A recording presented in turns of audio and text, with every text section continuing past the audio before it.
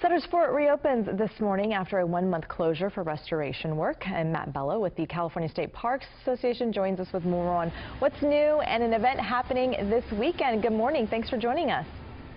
Thank you for having us. We're excited to be here. Okay, so tell us everything that you guys have accomplished in the last month. So right now we're in a series of projects uh, to help uh, renovate and preserve the fort. Um, so the last month it's been closed to work on grading, drainage, and putting in accessible pathways and get a head start on that. And we're excited to be back open to the public.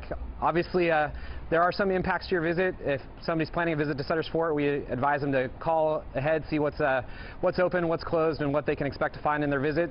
And because of the impacts, we're happy to have reduced admission fees uh, as we reopen today. Oh, what are the reduced admission fees? We all like a good bargain.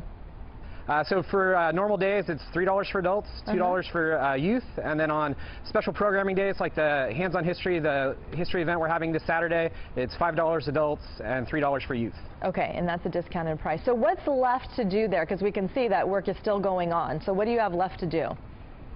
Uh, so uh, right now you're looking at the west side of the fort. Um, they've uh, fixed uh, drainage, so our drains actually uh, connect to something and help remove moisture from the fort.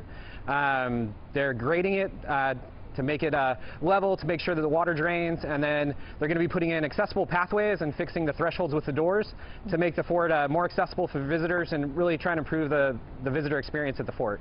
That's awesome. And now, what would you say when people do come back to visit?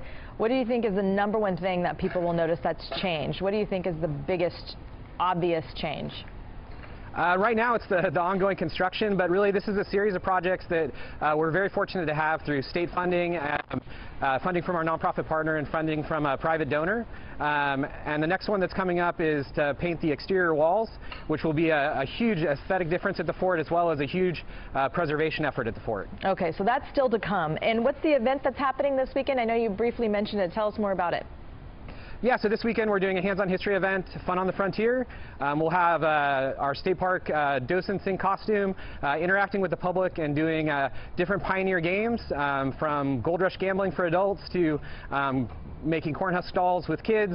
Um, it should be a really nice family-friendly uh, event. Sounds fun. All right, Matt, thank you so much. We appreciate the update on Sutter's Fort in Sacramento.